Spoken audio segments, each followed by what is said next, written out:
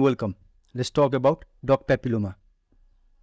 It is the most common cause of the bloody discharge from nipple and is usually single from a single lactiferous duct and blocks the duct causing interductal dilatation and uh, there are epithelial line tube polyps breast lactiferous ducts. It is usually less than 1 centimeter in size and often with small lump under areola but can attain large size.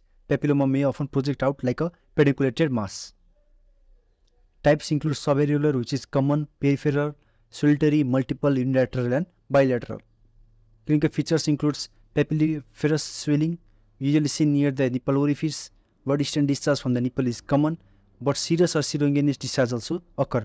Single papilloma is not premalignant, and but multiple papillomas in many ducts can be premalignant. Peripheral papilloma should be differentiated from invasive papillary carcinoma. Investigations include discharge study, ductogram, mammography, ultrasonogram, FNAC, and TrueCut biopsy.